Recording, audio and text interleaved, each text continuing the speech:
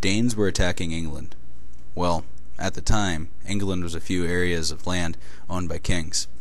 The battles were well matched, so they fought with anything on hand.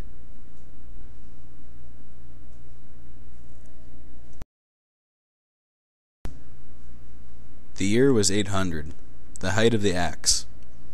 The fighters were poor, so they needed a weapon that was cheap but fearsome. They encouraged fear by any antics necessary, banging weapons on shields. At the height of the axe, who were those fighting? Well, at this time it was the Danes, a country in the cold north. They had to go travel south over the sea to reach England, where they'd stage their attacks. The Danes wanted to expand, so they took the term Viking, which merely means raider by sea, and started to expand. They aimed most of their attacks on England.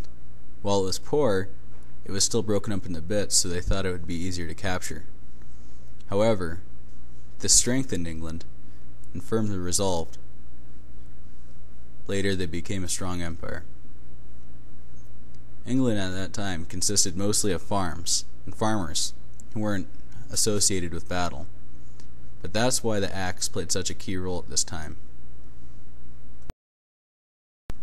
The axe was easy to use, so this gave Saxon farmers power.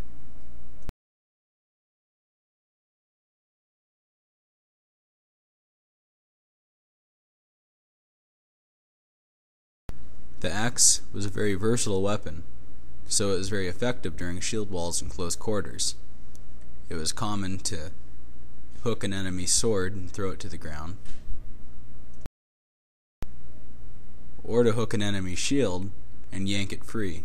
So if there is someone behind you, he can attack your exposed opponent.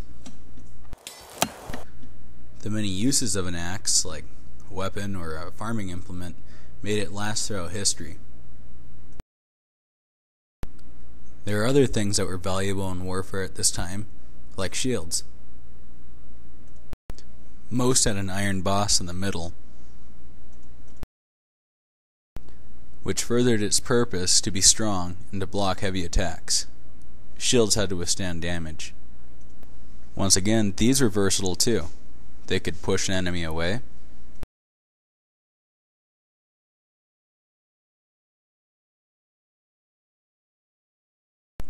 block heavy hits, and even in some situations could be thrown at the enemy. As shield, axe, and sword were important, so is a short sword, or a Saxon seax. It was nimble and hard to dodge.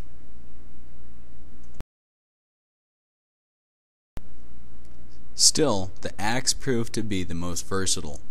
For instance, it could hook an enemy's ankle and throw him forward. And it was common to throw it at the enemy.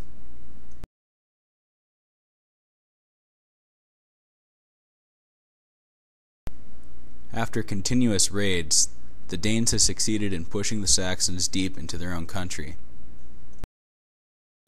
Things were beginning to look very bleak for the Saxons. But since axes were cheap and affordable, they could afford many warriors and could help fight off the Danish cause.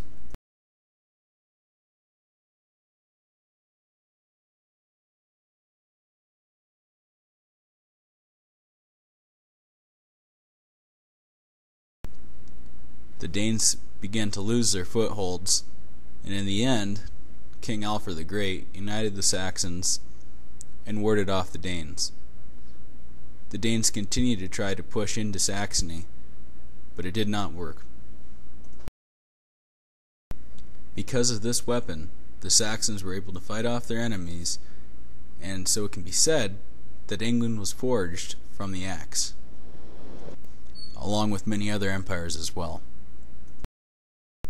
In retrospect, the axe is very important. It gave the poor a chance to fight, and because of that, it was used into the medieval ages and even on through the Renaissance.